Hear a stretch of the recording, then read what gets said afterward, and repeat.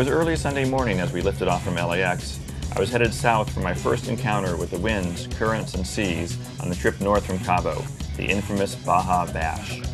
As familiar cruising ground slid by, I tried to remember some of the things I'd read. Watch out for Sacramento Reef. Is it really better to go inside of Cedros? What about Turtle Bay's fuel dock and the famous tin can? The Baja coastline is pretty barren. If it gets rough, where do you tuck in? Is it really as bad out there as everyone says it is? Smooth two hour flight down, and ahead, a six day uphill bash home. What's it really going to be like?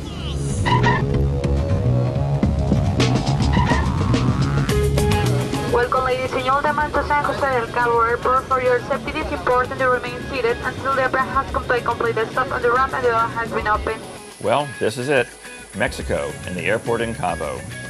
From here, it's off to the marina to meet up with John Gilbert and the HYC crew who brought freedom north from Puerto Vallarta. Our rendezvous? A quaint little restaurant on the docks, the Ole Ole Grill. Lots of south of the border charm. Captain Tom was already busy getting everything organized. Hacienda Hotel between 3 and 4. You're going to drop your bags off. Right. We're getting duct tape. And uh, Scott's going with us. You can either clear papers yourself by going first to immigration and then to the port captain's office to clear the boat in with the crew list, or you can hire an agent who's over in this office who will handle everything for you on the same day for a slight fee, which is well worth it. How was the uh, passage up? It was lumpy and confused and uh, wet. Was it a comfortable passage? No. Why not? Uh, we didn't cook anything. We made some sandwiches and uh, what else did we eat? Cookies. And anything else we could find. Bananas. Yeah, we, we better talk to Rick about this.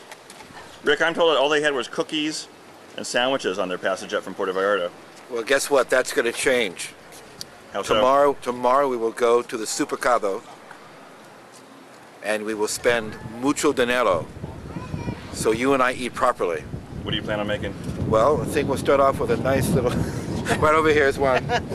right here. This will be filleted, beautifully very thin, and served on a nice cracker wedge. Toast points. What kind of Toast sauce? points. Toast points. Nice cream sauce would be nice. This is my son Keith. This is the first time to Cabo, and he's going to be the first mate and help me in the kitchen. Pardon me, the galley, because he's very good in the galley. Yes. And Keith, you're quite a boater yourself. Yes. Well, every once in a while. yeah. Have you done this passage before? No, I haven't. This will be the first time. My first time too. And in spite of all the folklore about the trip, I'm really looking forward to it. We shall return.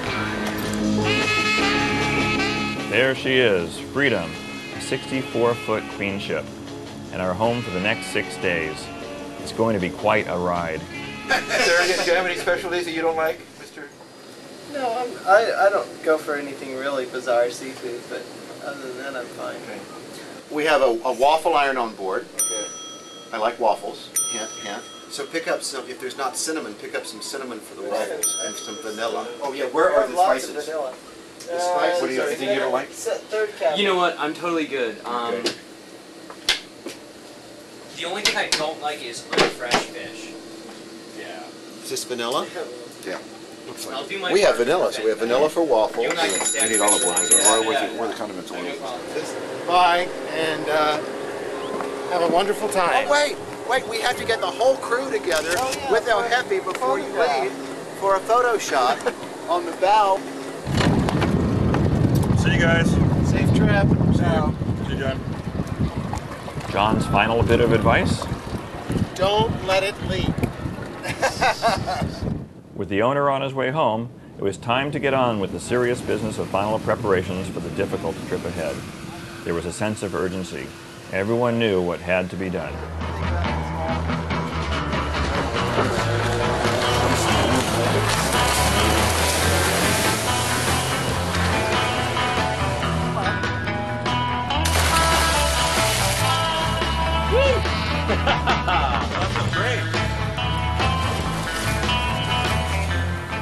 It feels great. it's warm too. We are not conserving water. The water maker has been working full time since we arrived here in Cabo San Lucas, Mexico. That's a good thing. And that's a good thing. Whew. And here comes Mr. Ingold, not knowing how to stop the jet ski. What? I can't believe the speed of this thing. It's 105 horsepower. Jesus Christ.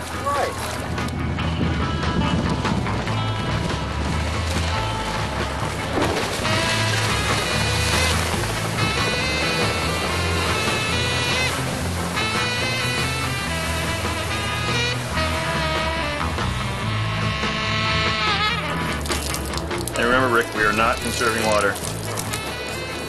You see, do this in Catalina. Get the for water. Shit. We're going to convert one of the diesel tanks to gasoline so I can ride this back to Long Beach. One last day in paradise, and what a day it was. Everything was set for the trip north. It was a beautiful evening in the anchorage, and after dinner ashore, everyone settled in for one last night of sleep on the hook before heading out to sea. We're starting the engines now. We're preparing to leave Cabo San Lucas, Mexico. Baja California Sur. Our first destination is Bahia de Santa Maria, oh. just north of Mag Bay.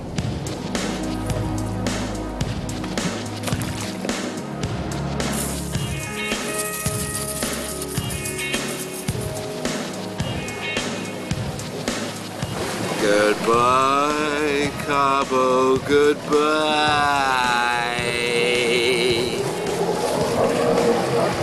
Bye bye, Cabo.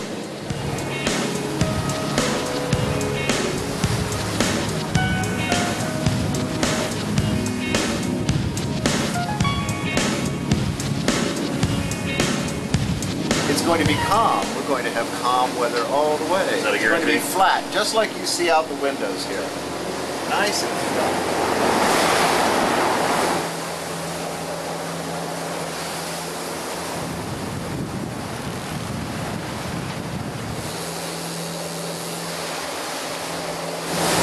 Bites yet?